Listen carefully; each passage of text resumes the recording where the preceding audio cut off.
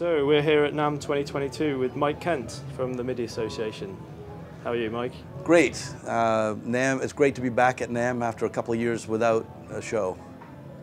Absolutely, yeah, I can imagine. So yeah, um, tell us about MIDI 2.0. Uh, where are you at with it? Um, yeah. Well, you know, we, we spent uh, several years writing the core MIDI 2 specifications, and those were published uh, now two years ago. And we've been building on the, the core specs to extend them and add functionality. Um, but it's still the, the early days of MIDI 2.0.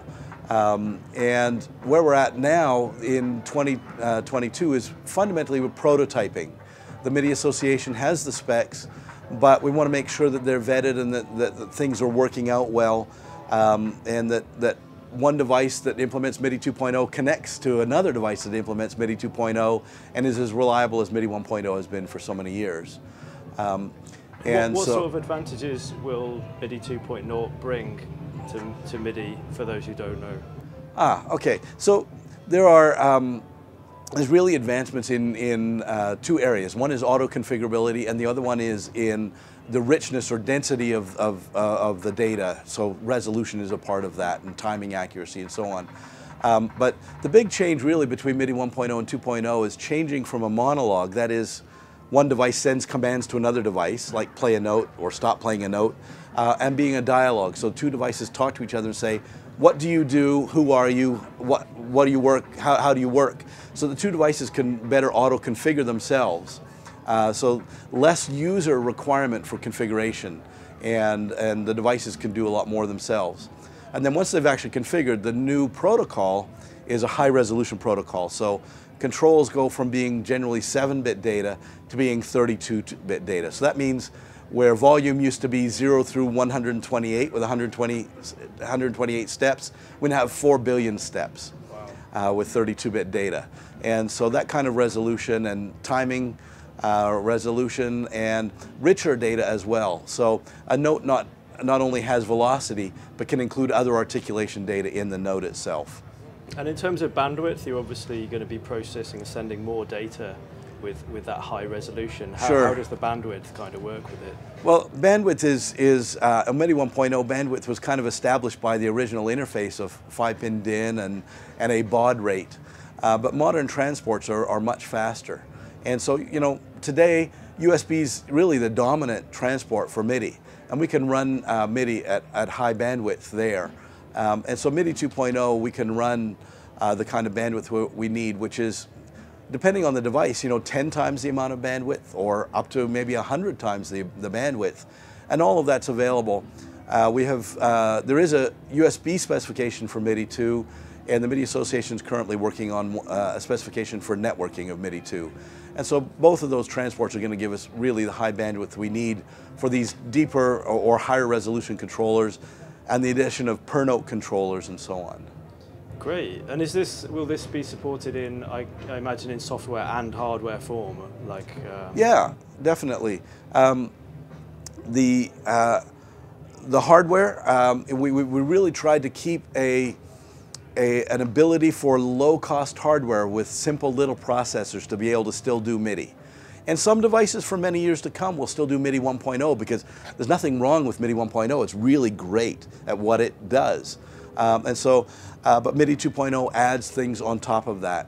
And so, uh, hardware from the simplest to the to the more elaborate, uh, that it's really a gamut from MIDI 1.0 to MIDI 2.0 extended. And MIDI 2.0 is not a completely different world. The, the two integrate, you know, quite closely together. And so uh, for hardware, uh, that's, you know, uh, there's a, a clear uh, path for us to add to what we've been doing with MIDI 1.0 for a lot of years. In terms of software, um, uh, software generally needs APIs to be be available and uh, and for the OSs, and so there's progress there. Um, uh, from the OS companies, you know, all the OS companies are members of the MIDI Association, um, and uh, you know, many of the largest software companies are also members, and they're well aware of MIDI 2.0. Uh, and so I think we'll see we'll see good support from software and hardware. Great. And do you think um, how how were you able to like accelerate the take up for uh, MIDI 2.0 with MIDI with MIDI 2.0 uh, with say manufacturers and software developers? Well, one, one way we're doing that is providing tools. The MIDI Association has tools available. Uh, we have a, a, software which is cross-platform called the MIDI Workbench. And it implements uh, MIDI 2.0 and is a test tool. Uh, and so if you're running a MIDI uh, device, device being software or hardware, it can talk to the Workbench and the Workbench can test its MIDI 2 capabilities. Um, and so the Workbench is, um, is um, a great tool. This is another tool from AmeNote, my company. Uh, this is a, a, prototyping hardware. And so this in itself is a MIDI 2.0 device, and it's implemented on a Raspberry Pico. And, you know, Raspberry is a, a, very open platform, and we're providing MIDI 2 functionality. The, the, the bidirectional transactions of MIDI CI, that's MIDI capability inquiry, those are implemented on here. And the new protocol and the new uh, format we call the Universal MIDI Packet format which can carry MIDI 1.0 and 2.0. All of that's on here, uh, in addition to USB interfaces. Um, and uh, also, five pin DIN is on here, so you can connect a, a, a, MIDI 1.0 device, and we have translators in here. And so we provide tools like this. All MIDI Association members have access to get this. And in fact, the MIDI Association gives one free to all members. So you should join the MIDI Association if you'd like to get uh, these prototyping tools. Um, but currently, MIDI Association members are all cooperating in uh, adding to the, the source code on this and the workbench. And we're vetting all of these things together. And later this year, these tools will be available to a wider set of developers. Excellent, excellent. And uh, wh when do you think it will be first implemented? Who's, where's going to be the first place to see this, the 2.0 happen? Well, the first first place is in funny little tools like this. They're not really things for musicians, but we have MIDI 2 devices that people are testing with like this, and a few other companies in the MIDI Association have their earliest prototypes. And we're, we're sharing with each other and working together uh, to make sure that MIDI 2.0 is what we expect it to be, and so far that's going well. Um, we, uh, I would expect that the first MIDI 2 devices for musicians and uh, home studio owners and producers and so on was probably towards the end of 2022 and starting more in 2023. And it'll take some time to transition.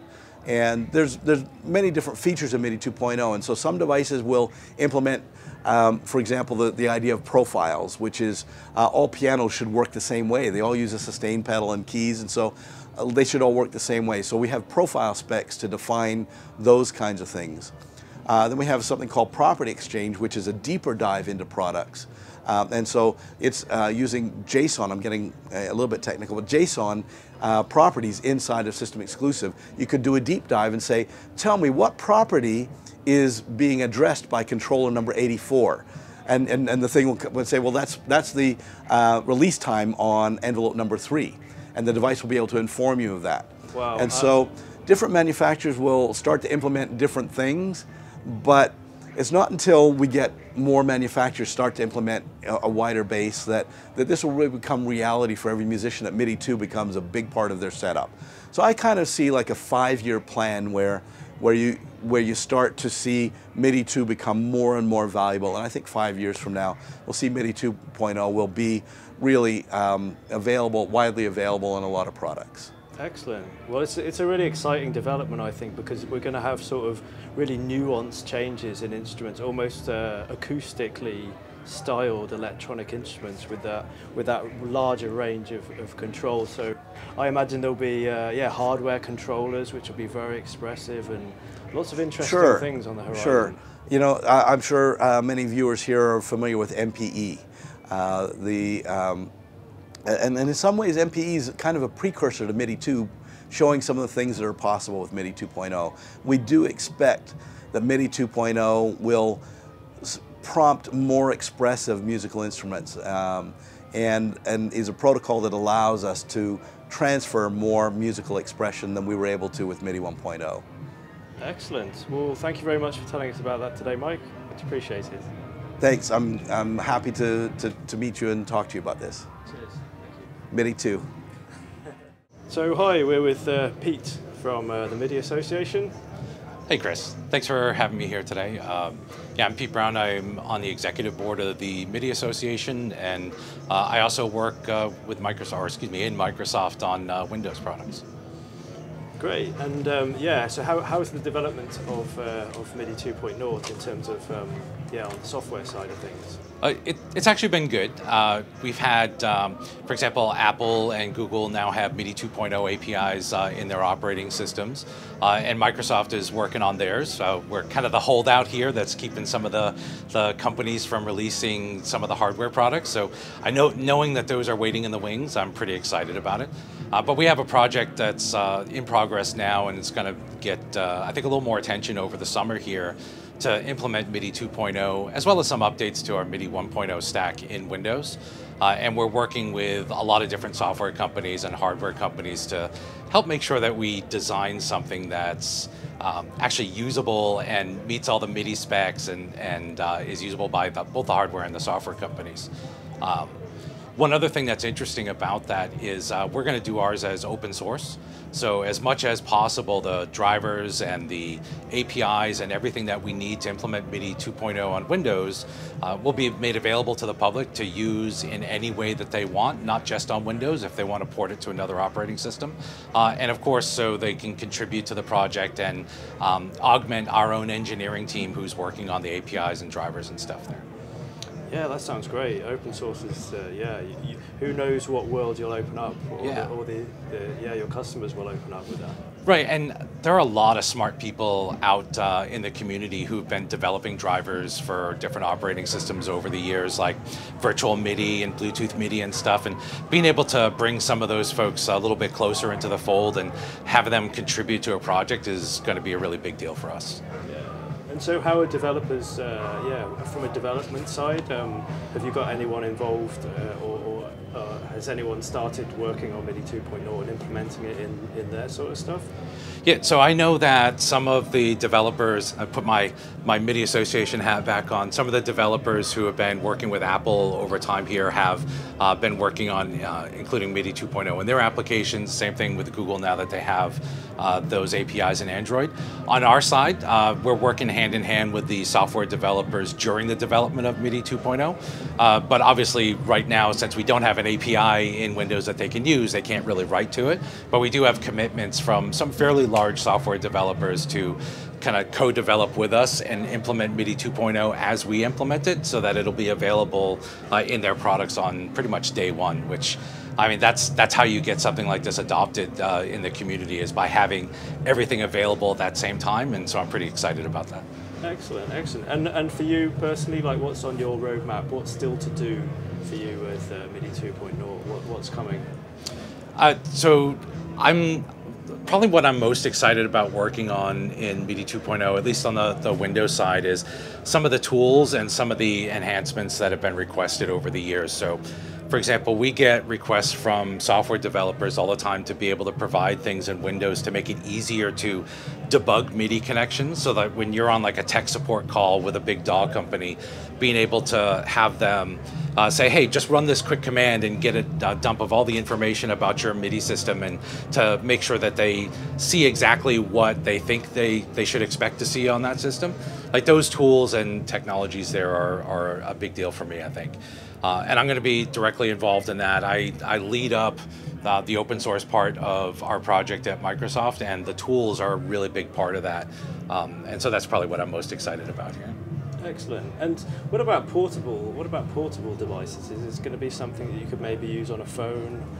Um, yeah, yeah, so uh, like out in the park, perhaps. Right. So Google has, uh, as part of their Android product, uh, and I believe the Apple uh, implementation is also on iOS as well. Those clearly are going to work on. Um, uh, on those phone devices.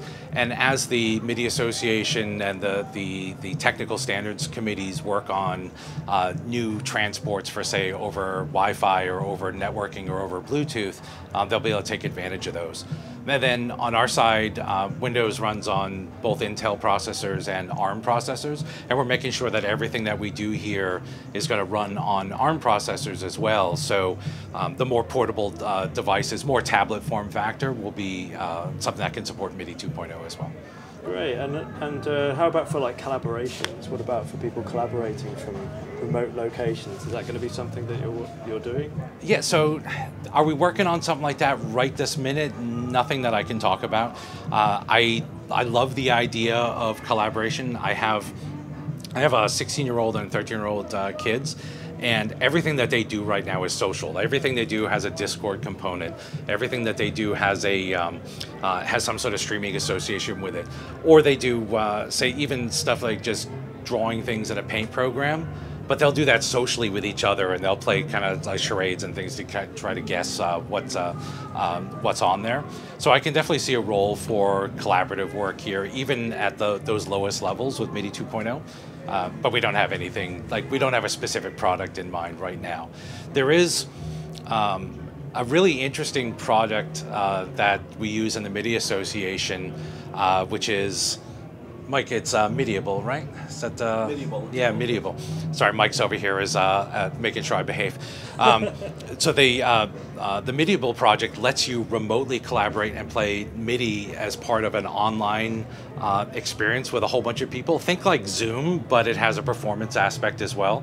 And we also use that as part of our normal like executive board meetings and everything. So it's a super fun aspect there, which I certainly I could see that supporting MIDI 2.0 in the future as well. Great, excellent. Um, well, thank you very much for your time today. Really Thanks. exciting times. thank you very much, and uh, say hi to Nick for me, and I, I really appreciate being on the show today.